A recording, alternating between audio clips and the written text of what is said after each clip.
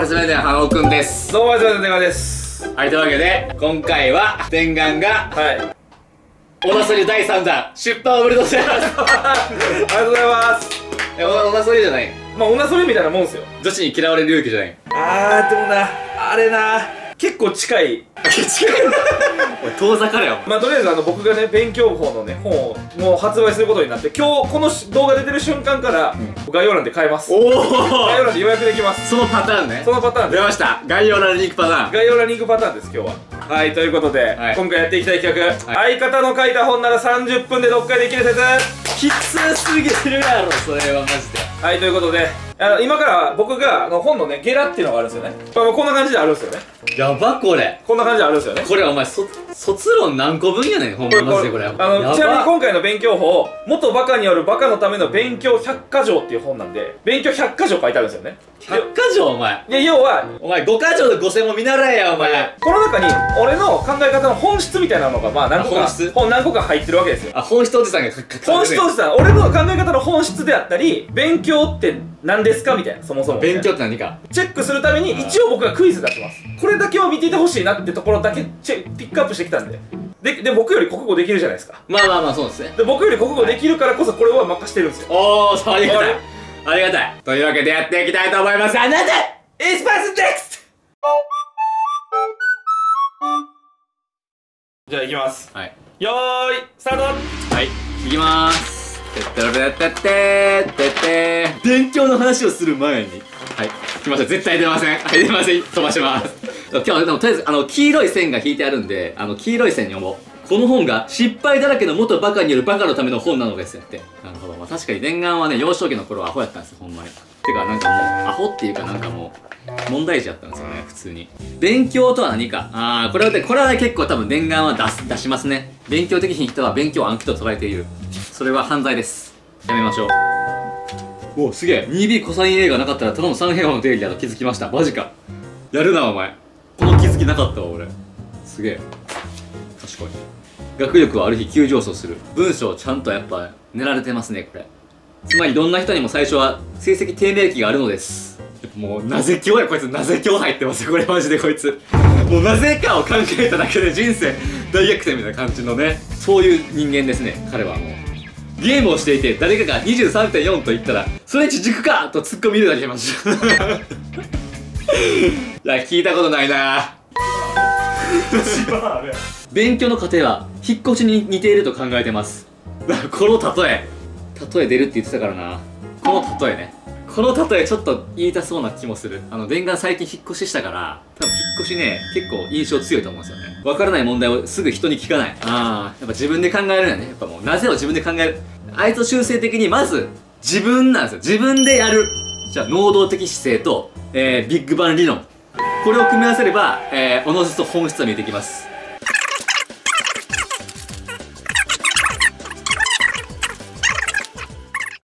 そう終ですはいはい終了。第一感想というかね。あとなななんでしたこの本あの本質的に。ビッグバン この本ビッグバンでした。結論を言うとそれはでも。じゃあということであの結構出る問題言ってましたよ。あマジで？まあ出る問題口に出してまお前のしたよ。ちゃんと本質は見抜いてるもんだってもう後半オーケーオーケーオーケーはい。オーケーオーケー問題。オーケーこの本において、はい。勉強の過程は何に似ていると書いてあったか。こういうのが〇〇と同じようなものだって書いてあるんですけど その〇〇とは何か。まあわかりますよ。これわかります？じゃあちょっとあの選手の答えどうぞ。はい。勉強とはジグザグなんだ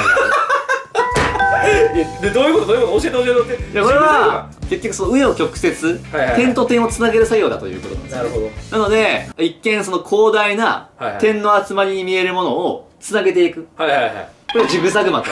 そんなことあのー絶対言ってないけどな。ああ。これはちょっと残念違いますね。あじゃあ言ってたよ。言ってたよ。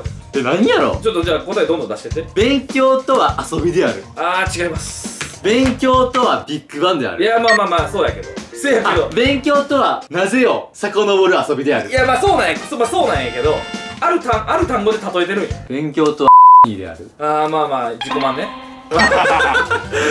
まあ自己満。それも一理あるわ。あわかったそっか。勉強だ引っ越し。正解。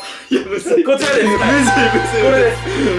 す正解。結構これむずかったぞこ正れ解。要はこれはですねちょっと解説するとですね先生の話とか聞いてできた気になる人っていうのがいるんですよね。それはできたではございません。なぜなら引っ越しで例えると、うん。荷物が入ってきて段ボールがあるだけの状態なんですよ。段ボールを整理しないとダメだと。整理しない。でなんでそんなことしないといけないかというと、うん。例えばハサミ取ってって言った時に、段ボールのままやったらどこやったっけってなるでしょ、なるほどね知識も同じことが起きます。おお整理されてないとパッて取り出せません。確かに。そうなると試験で使えないってことが実は精読すると書いてあります。おおだから段ボールをしっかり解体してその知識をしっかりあの来たるべき場所にしっかり整理してあげるっていう時間これまあ要はアウトプットじゃないとこれは身につかないので。なるほどね。っていうことが大事だという話を実はしててひ勉強は引っ越しに似ているということが書かれてます。勉強ができない人は、はい。その段ボールをすぐね可燃ゴミ出しちゃうんですよああそういうことですね。はい。こういって。ポイで出しちゃう。はいちょっとじゃあ第2問ね。学びと遊びの関係を答えよう。あこれはもう大体合ってたら正解にします。はいはいはい大体合ってたら正解にします。いい数式を思いついたもんねはいということで花尾選手の回答どうぞ。せーの。ポン。リミット、はい。年齢をゼロに近づけた時の遊び分の学びイコール1おおこれどういうことですか？これめっちゃいいいこと言ってて、どういうことですか？ちょっと。要は幼児ほどはい。遊びが学びになってるっていうこと。ああなるほど。だからそのなるほど。遊んで鬼ごっことかしてもはいはいはい社会性学べるとか。なるほどなるほどおっぱいから汁が出てくるとかど いやまあまあまあ確かに。未経験やからそう。ねこれ全てが学び。なるほど。年を取っていくにつれてだんだんそれは1と禁じできなくなってくる。なるほど。ってことはこの1ではなくなって1ではなくなってくる。俺よりいいこと言うのやめてもらっていいか？ななるほどあの俺よりいいこと言うのやめてもらっていい 老害はあかんってこと。今回に関してはこの本が正解なんでこれは0.5点です。あーはいはい。これ0.5点ですポイントはですね学びの中に遊びを入れるんじゃなくて、うん。遊びの中に学びを入れるっていうこの集合の関係が大事なんですよ。それ書いたら俺さっきそれだから書いたでそれ。だからあの幼少期は確かに1に近いと思う。ああほぼほぼ確かにそれは言われ言ってる通りでほぼ1に近いんやけど、学びの中に遊びってなると遊びがちっちゃくなっちゃうでしょ？うん。楽しくないやんか、だから全体は遊びでその中にしっかり学びを入れるっていう。だから遊びが先の方が絶対面白いですね人生が愛してるのサインって愛してるの 3X で取ったって説ありませんいやでも一緒に生きていきたいってことでコサインって考えた可能性ない？ああ、しよ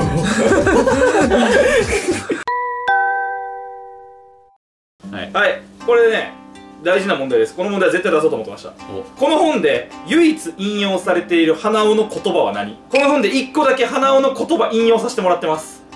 まあ心当たりはある心当たり。あの何個かあるねんこと心当たり。じゃあ花尾選手答えどうぞ、せーの。ポン。はい。えお前ウィンドサーフィン部入ったん？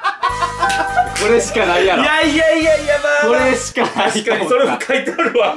これはもうね俺の伝言が自分の話するときによく出るんですよ。はいはいはいはい。かあるいは、はい。今会社辞めたら500万あげる。あーなるほど。この二択で迷った俺は。それちょっと解説してそれ。俺はあの俺が、はい。あの2018年ぐらいに、はいはい。こいつがい一回会社員時代に入るんですけど、はいはいはい。まあ、俺は YouTube をやるって決めてこいつが会社員になるからその時に今辞めたら500万円あげるで。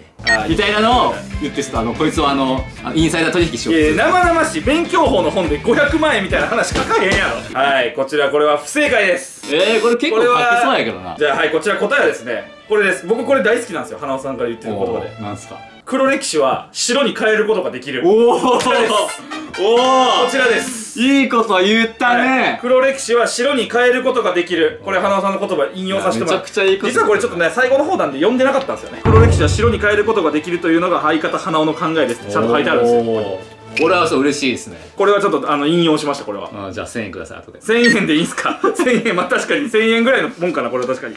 黒歴史って思うんですよね今やってることとかを。モチベーションが下がる人とか、うん、そういう人のいや後にそれを白に変える努力をすればいいって考え方を取ってる人でしょ？そうなんです。それはだいぶ影響を受けてるんですよ僕多分あそれは多分影響を受けてるっていう話です、はい。次の問題。数学はひらめきよりも〇〇が大事。ああこれもうすぐわかる。これがいける？はい。完全に。〇〇は何？これはもう完全に言ってたよはい。なはいはい。せーの。ドン。言い換え。言い換え。素晴らしい。正解。あじゃーこれはピンポイントで素晴らしい。しいいやこれ正解です言い換えです。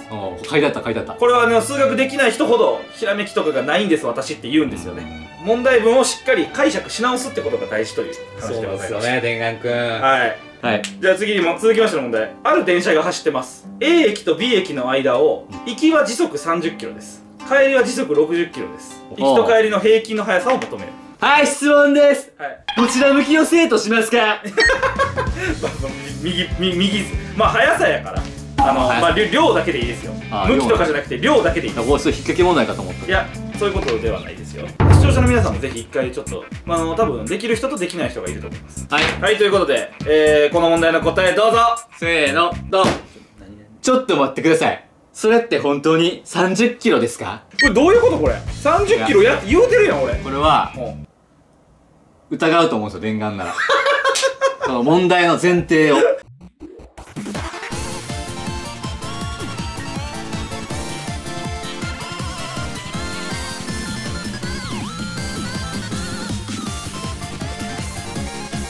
不正解ですこちら。